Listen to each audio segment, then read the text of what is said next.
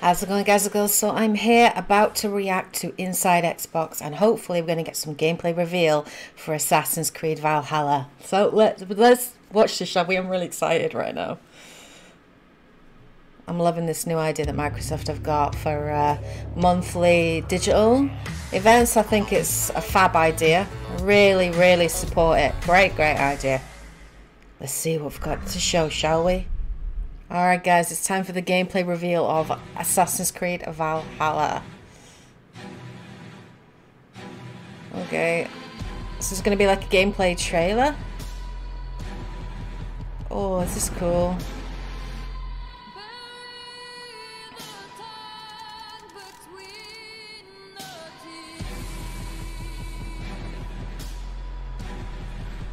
It does look good. It's still cinematic right now.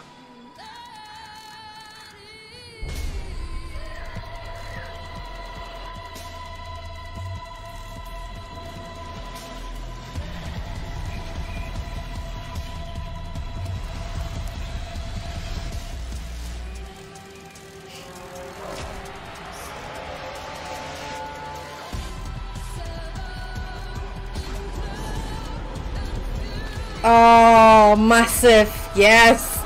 Oh, yes. We're attacking like fortifications. We're going to take on like York and different cities. Oh my god.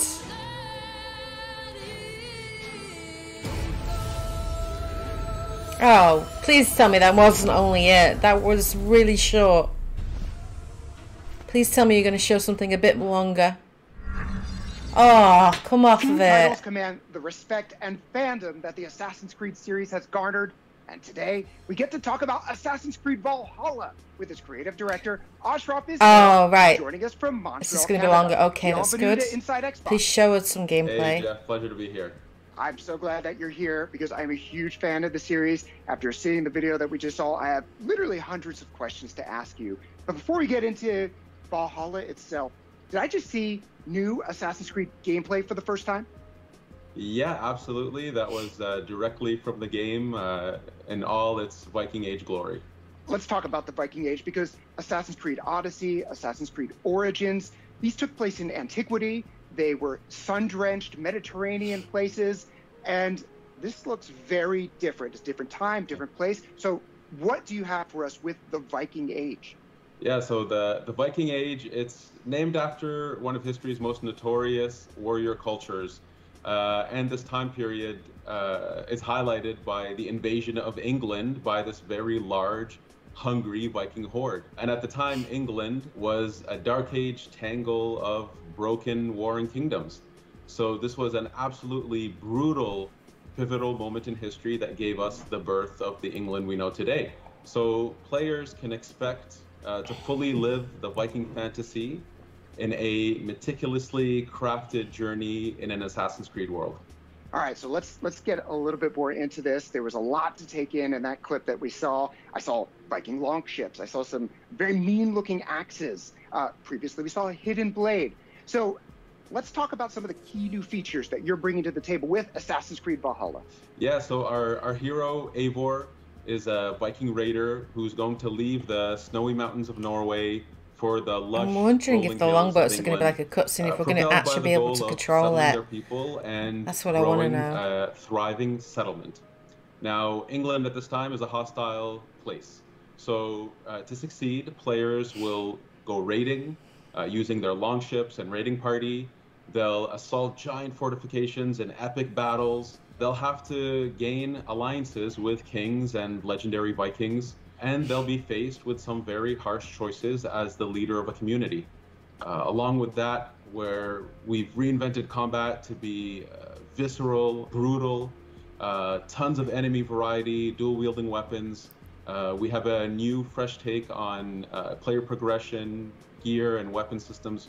We're effectively pushing every single envelope to deliver this incredible Viking fantasy. All of this is, is just music to my ears. Thank you so much. Uh, so this whole show, we've been talking about the Xbox Series X. We're talking about next gen.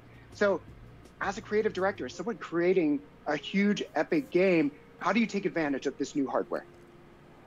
Well, uh, Assassin's Creed has always been committed to new technologies in order to push the most immersive experiences we possibly can.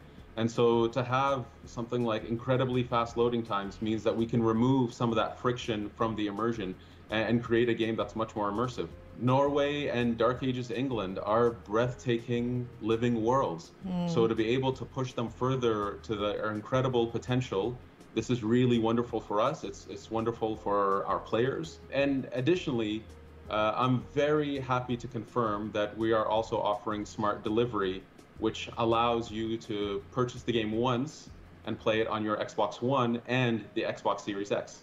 That is great news, I think, for all the Assassins fans out there. They'll be able to enjoy it on the hardware they have now, maybe on the hardware that they are looking forward to getting later this year. Thank you so much, Ashraf Ismail, for joining us and for sharing the very first details on Assassin's Creed Valhalla. I cannot wait to see more. Absolutely. It's my pleasure. It does look good. I can't wait for this. I was kind of hoping to see more gameplay though. Like uh, like they did with Odyssey where they showed like a pretty good gameplay segment Maybe we'll get that at, at in June or July maybe. Yeah, Ubisoft maybe themselves are maybe holding it for themselves to reveal. I think maybe that's what they're doing.